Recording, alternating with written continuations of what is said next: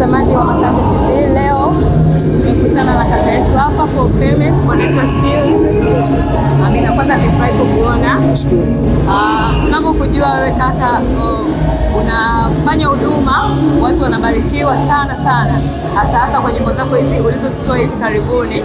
Ah, tunabarikiwa sana na tunakuona kwamba ni mnyenyekevu sana, unafanya huduma na hata na wa, wasanii wadogo wadogo wa chini. Unazungumziaje kuhusu hilo, na wengine kwa nini wasifanye na hao watu? Ah, kwa kweli hakuna msanii mdogo mdogo ambaye yuko chini.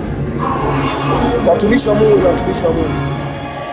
Ah, kutokufahamika ama kutokutoa nyimbo ikafanya vizuri haimaanishi kuwa wewe ni msanii mdogo, na siwaiti wasanii, ila mimi naita watumishi wa Mungu.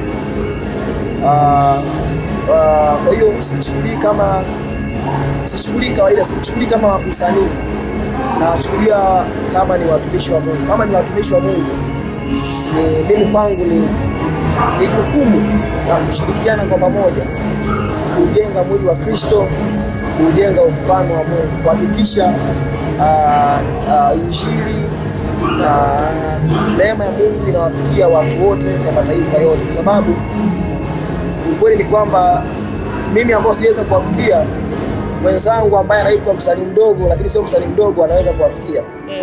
Umenielewa? Kwa hiyo tukishirikiana kwa pamoja bila kujali tofauti zetu, bila kujali huyu yuko nyimbo yake imeenda huko ama yuko wapi, tukishirikiana kwa pamoja tuta- tutafanya jambo kubwa sana, na ndicho kitu ambacho Mungu anaahidi tujifanye, tujenekeane sisi kwa sisi. Anasema tuige mfano wa Yesu Kristo, akaona kuwa Mungu si kitu, kuwa Mungu alikuwa Mungu, lakini kule kuwa Mungu aliona sio kitu cha kushikamana nacho akaja kwetu duniani aka- akavaa umbo la kibinadamu akanyenyekea, na alipoona anaumba kibinadamu akanyenyekea mpaka mauti ya msalaba. Ndicho ambacho tunakumbushwa siku zote kuwa kama Kristo aliacha mbingu, aliacha ukuu wake, aliacha uungu wake kwa ajili yetu. Kwa hiyo mwisho wa siku, ili tuweze kufanya kitu kwa ubora na kwa pamoja, kwa kushirikiana bila kujali tofauti zetu, ni kuacha umaarufu, kuacha majina yetu na kuona sisi sote tuko sawa kwenye ufahamu wa Mungu kwa kushirikiana na kufanya kitu kimoja kwa ile utukufu wa Mungu.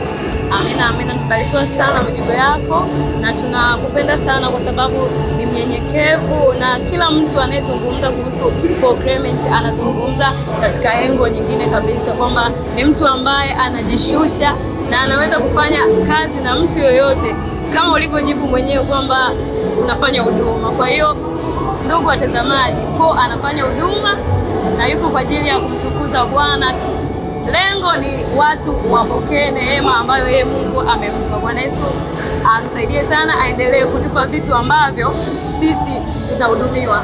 Mungu akubariki sana, asante. Amina.